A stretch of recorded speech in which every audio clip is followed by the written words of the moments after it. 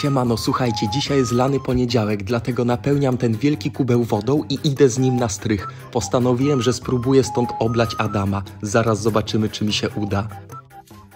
Adam!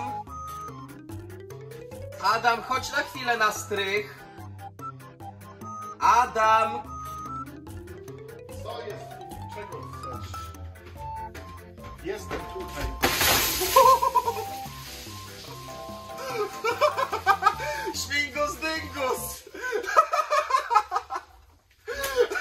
スリー